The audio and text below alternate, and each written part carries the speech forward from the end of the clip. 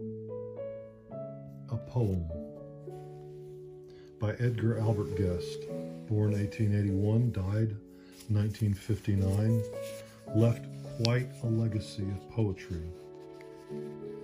September. September with her brushes dipped in dazzling red and gold now comes to paint the valleys and the hills. And we forget completely that the year is growing old as we gaze upon the color that she spills.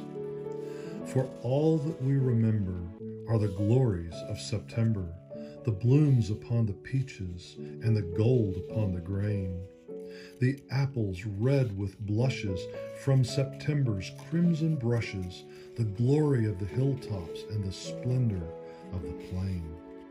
September, magic artist, comes again to paint the trees, comes again to crown with beauty Mother Earth.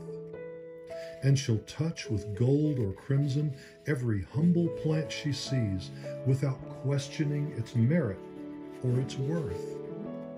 And the eye that looks to see on the frailest little tree will behold a touch of glory where September is caressed and the poorest little bloom that is soon to meet its doom will be nodding in the sunshine with the proudest richly dressed. And September makes me think as I watch her splashing paints on every living thing underneath the skies today, that the poorest of us here, when he goes to join the saints, will receive a touch of glory in the very self-same way that the humblest of the lot in the end won't be forgot, as September crowns with beauty all the works of Mother Earth.